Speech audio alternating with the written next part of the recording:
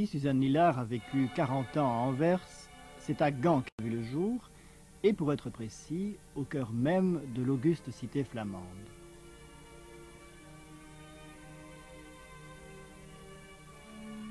Initiée par son grand-père, qui l'emmenait souvent contempler le château des comtes, et surtout par sa mère, qui, comme elle le rappelle plaisamment dans son dernier livre, Une enfance gantoise, était amoureuse de Gand presque autant que de son père, elle apprit très tôt à aimer sa ville natale et à en être fière.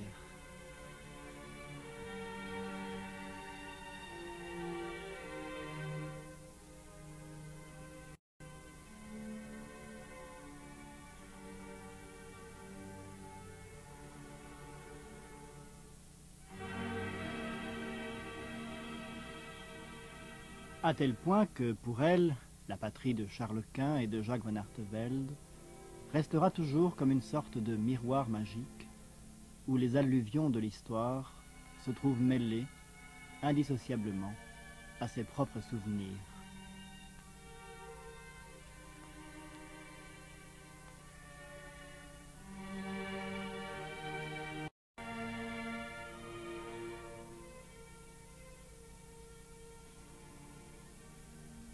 Vous êtes donc né à Gand. Oui. Vous auriez pu naître à Paris, au Québec, Il ne à me Liège. semble pas que j'aurais pu naître dans une autre ville que celle-là, que j'admire profondément et qui, m'a tellement, qui a tellement contribué à me former. Je pense que l'endroit où je suis, où je suis- non pas où je, oui, où je suis née aussi, car je suis née rue de Flandre, à quelque part, à quelques pas du, château de Gérard le Diable, Gérard Vilain, Gérard dit le Noir, et tout près de Saint-Bavon, du Beffroi, de Saint-Nicolas. Je pense que le fait d'avoir vécu entre ces tours m'a donné une espèce de sens de la grandeur. Pour moi, les tours, comme les arbres, euh, sont très significatives d'un certain euh, symbolisme. Le fait qu'elles sont ancrées dans le sol par leur crypte et que d'un autre côté elles pointent vers le ciel, elles rejoignent la terre et le ciel dans un symbolisme admirable, un symbolisme des contraires, une fois de plus, qui me satisfait profondément. L'arbre fait de même. Vivant à Gand, euh, vous développant à Gand, en pays flamand, vous étiez de ces écrivains qui vivent à la confrontation Oui, de deux cultures. de deux cultures. À l'affrontement de deux cultures. à l'affrontement de deux cultures. Je crois que c'est c'est très important pour, euh, pour mon œuvre et pour moi-même de savoir que j'ai toujours vécu à cette lisière. Euh, j'ai d'ailleurs senti très profondément l'influence du langage français sur ma sensibilité, qui était une sensibilité euh, euh, flamande, portée au romantisme, le pouvoir ordonnateur et clarificateur de la langue française a agi très heureusement sur moi, en particulier par l'intermédiaire de Racine, que j'avais découvert dans le grenier d'une amie de mon amie, de, ma mère, d'une amie de ma mère.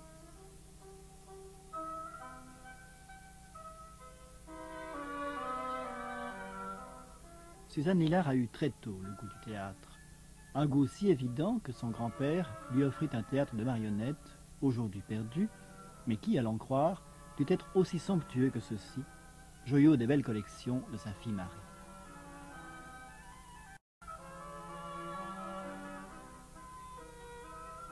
En revanche, sa lanterne magique a survécu, de telle sorte que ces images nous replongent quelques 70 ans en arrière.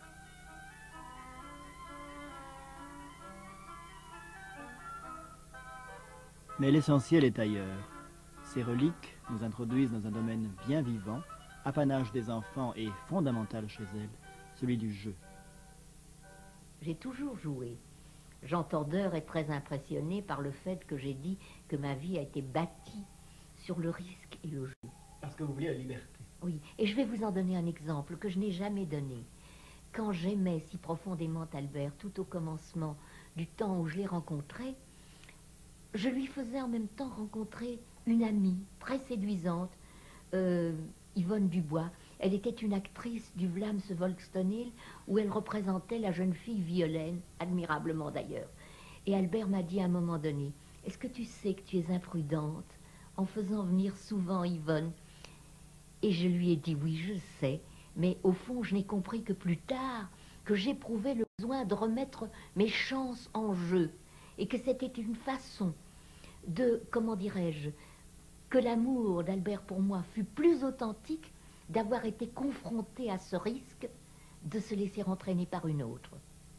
Le jeu est en fait un phénomène de connaissance, c'est une technique de connaissance. de connaissance, mais c'est aussi une, un- une technique d'exploration de ses possibles.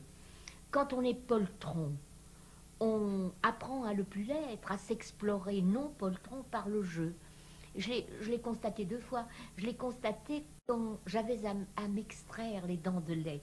Je montais sur un tabouret que je mettais sur une table. Et sur cette espèce d'accessoire de, théâtre, je m'extrayais les dents de lait sans aucune difficulté. Mon héroïsme était purement théâtral. Et puis il y a le jeu du cardinal, Le qui est jeu du un cardinal. exercice. Euh, J'avais lu dans les belles images que le cardinal avait, de Richelieu avait énormément de courage et que voyant dans le chaton de sa bague euh, qu'il était suivi par des assassins, il s'était retourné et d'un seul regard il les avait maîtrisés. Alors il se fait, comment ai-je eu l'idée de prendre cette couverture, cette couverture rouge pour imiter le cardinal, comme font tous les enfants, pour faire comme si? Et je me, j'ai- je me suis rendu compte que recouverte de cette pourpre cardinalice, je ne craignais plus rien. Et j'osais monter dans le noir le soir, j'osais aller prendre au grenier les plaques photographiques de mon père. J'avais exploré, je m'étais explorée moi-même comme courageuse. Mais pourquoi Parce que je ne l'étais pas et que j'avais mesuré toute la différence entre ce que j'étais et ce que je n'étais pas.